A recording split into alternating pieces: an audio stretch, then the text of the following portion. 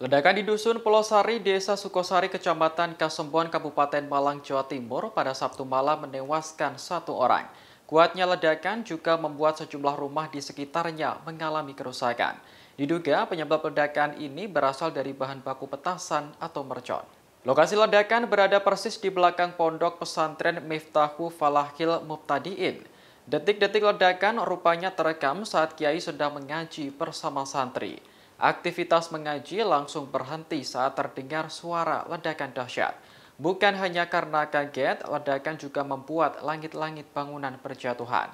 Setelah ditelusuri, sumber ledakan ternyata berasal dari sebuah rumah kosong di dekat pondok. Kapolsek Kasembon AKP Guguk Windu Hadi mengatakan, rumah tersebut milik kakek korban yang tewas Ahmad Hasan Rifai. Polisi masih melakukan penyelidikan untuk memastikan penyebab ledakan. Namun dugaan sementara sumber ledakan berasal dari bahan baku petasan. Johan, warga sekitar lokasi menyebut korban Hasan dikenal sering membuat petasan sebelum bulan Ramadan. Menurutnya, Hasan selalu meracik sendiri bahan-bahan petasan tersebut.